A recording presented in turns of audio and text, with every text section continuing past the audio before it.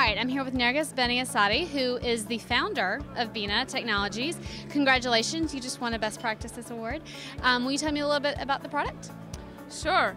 Uh, we're very happy to be at BioIT. We launched our company actually here in 2012 for the first time, came out of stealth mode, and now we are here being also part of Roche uh, company. So we are focused on building informatics solutions for next generation sequencing.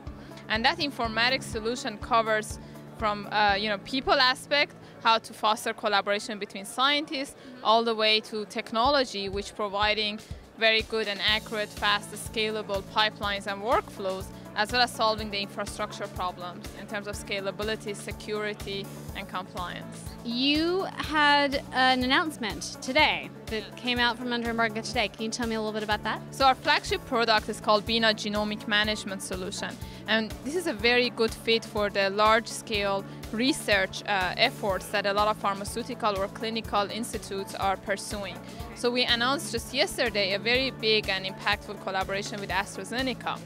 In that collaboration, AstraZeneca is to globally deploy Bina genomic management solution across different, you know, multiple sites to enable that type of genomic analysis and uh, deploy and kind of uh, consume genomic information in the discovery and research at AstraZeneca that will lead to much more targeted, personalized therapy development, hopefully.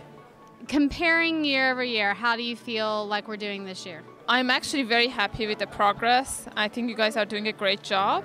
Congratulations. So, for example, I see more and more the end users are talking about their informatics challenges versus the vendors say, Oh, I have this solution, I'm great. I think we all are interested to hear from end user perspective, whether clinical or pharmaceutical or research.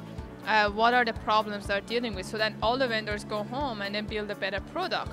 So I think that is a trend I'm observing here, and of course also more and more diverse set of vendors displaying their solutions. So I think it's great. Tell me a little bit about the Bina Alliance program. Okay. Sure, thanks for asking. So we are uh, now being part of Roche. We are really accelerating our commercialization and the completion of the product. And we are launching two very important programs to work with the you know, other players in the field. One of them is Bina Alliance program. Bina Alliance program, the first member of it is AstraZeneca, as we you know, announced yesterday. And it is targeting really large uh, clinical research institutes as well as pharmaceutical institutes.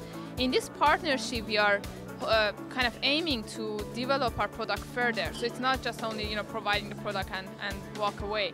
It is a co-development of a product, and we hope that through this very limited number of alliances, we uh, create a new standard for the industry, how to consume genomic information in research.